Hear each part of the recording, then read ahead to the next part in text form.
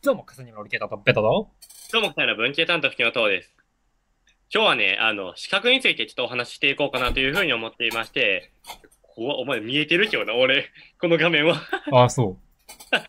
あの、資格についてお話をしていこうかなというふうに思っていまして、いや、喋りにくいわ。ということで、今ま今までは資格について、この資格はおすすめみたいな話はしててんけども、で、実際、今回は就職活動目的です。就職活動のために資格はいるのいらないよって話からね、まずはしていこうかなというふうに思います。結論ね、資格はいらないです。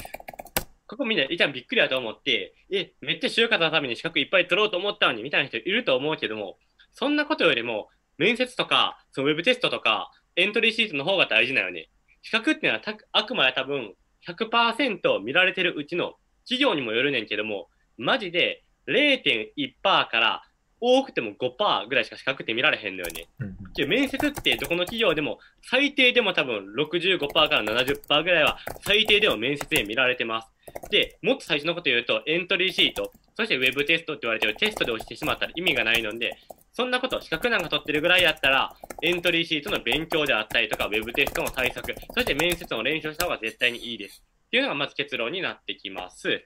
で、えー、今日どういう人が資格いるかっていうことで、一応資格ちょっと取っといた方がいいかなっていう人もいて、実際に言ったら、商社であったりとか、外資系企業、あとは結構海外事業に力を入れている会社っていうのは、結構ね、 TOEIC の点数聞かれること、これはね、面接中にあったりします。君 TOEIC 何点なんとか、あとは吹きの層でもよくあったのは、エントリーシートで TOEIC の点数を書くっていうパターン。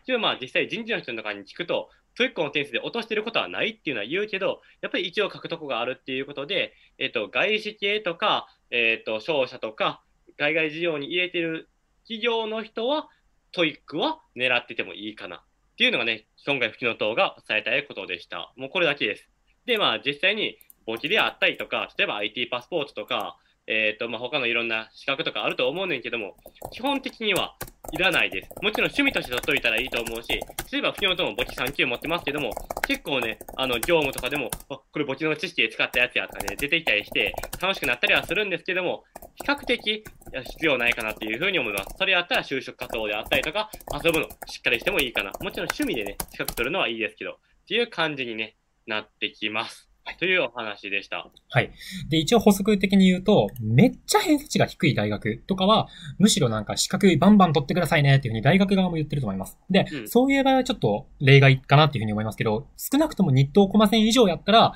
えっと、資格はいらないんじゃないかなっていうふうに僕も思っています。うん。はい。そうだね。まあ、あと、なんやろ、自分に特技がないっていう人やったら、うんうんうん、なんかプロフェッショナルって意味を込めて、例えば、公認会計士持ってますとかさ、いや、まあ、それ。そんなのすごすぎるけど、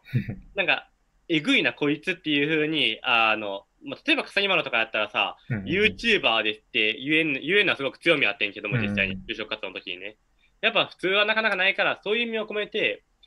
自分の武器として、めちゃくちゃすごい資格を取る。例えば簿記3級とか2級とかだとしょうもないなって思うし、だったら本当にね、簿記あったら1級ぐらい目指すとか、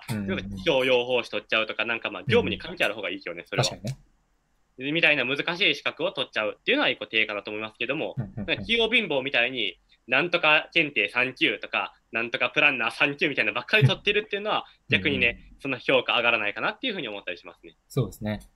大型バスの免許取るとかね。まあ、それはちょっとごめんなさい。当てにしないでください。まあ、そんな、っていう感じで。はい。でした。はい。で、もちろん、どういう資格があるのみたいな気になる人は、別の動画ね、概要欄載せておくので、資格の動画ぜひともご覧ください。ということでね、終わりましょう。バイバ